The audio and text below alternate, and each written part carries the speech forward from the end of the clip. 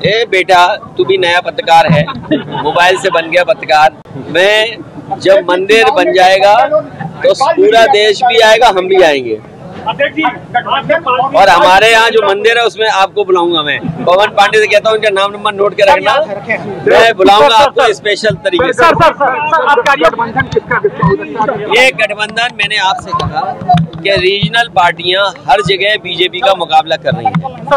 हर मुकाबला कर रही हैं। तो मुझे उम्मीद है जिस तरीके से बातचीत चल रही है कांग्रेस है सभी दल साथ बैठ रहे हैं। रीजनल पार्टियों का साथ कांग्रेस भी देगी और जहाँ पर रीजनल पार्टियों को ज़रूरत पड़ेगी वहाँ साथ भी लेंगे। भाई उसमें जो फार्मूला होगा क्योंकि अभी तो तय नहीं कर सकते हम लेकिन उस बैठक में जो भी फार्मूला आएगा मैं समझता हूँ सब मानेंगे। सर अधिकारियों की बैनामी संपत्ति को लेकर लगातार आप इससे आवाज़ उठाई थी इससे अगला कदम आप मैं मैं आपको बधाई देता हूँ इस सवाल को उठाने पर और अयोध्या वासियों को।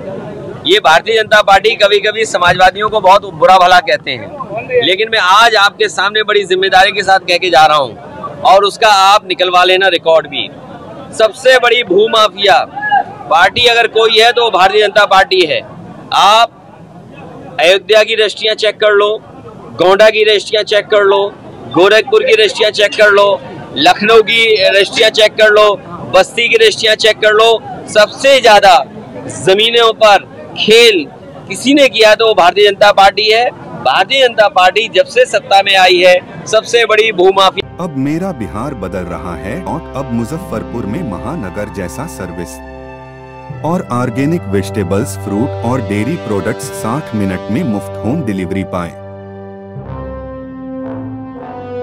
लेटेस्ट खबरों के लिए देखते रहिए एम न्यूज़ जेड न्यूज़ और ताज़ा अपडेट पाने के लिए चैनल सब्सक्राइब करना ना भूलें।